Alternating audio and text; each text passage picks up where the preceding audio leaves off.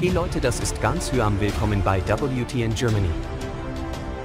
US-Schauspielerin Liz Sheridan ist tot.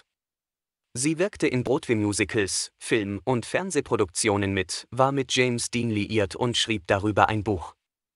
Nun ist Liz Sheridan kurz nach ihrem 93. Geburtstag gestorben. Die US-amerikanische Schauspielerin Liz Sheridan, die durch TV-Rollen in den Sitcoms Seinfeld und Alf bekannt wurde, ist tot.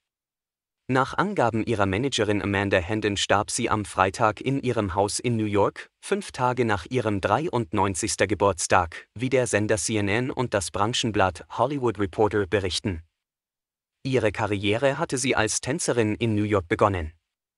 1951 lernte sie dort den damals noch unbekannten Schauspieler James Dean kennen.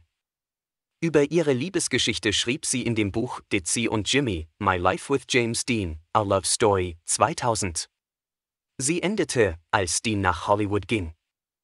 Sheridan wirkte in Broadway-Musicals und ab den 80er Jahren in Film- und Fernsehproduktionen mit. In der außerirdischen Serie Alf spielte sie eine neugierige Nachbarin, in der Sitcom Seinfeld die besorgte Mutter des Komikers Jerry Seinfeld.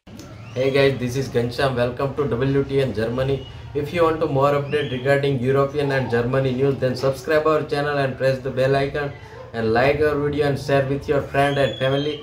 Thank you very much for watching our video. Thank you.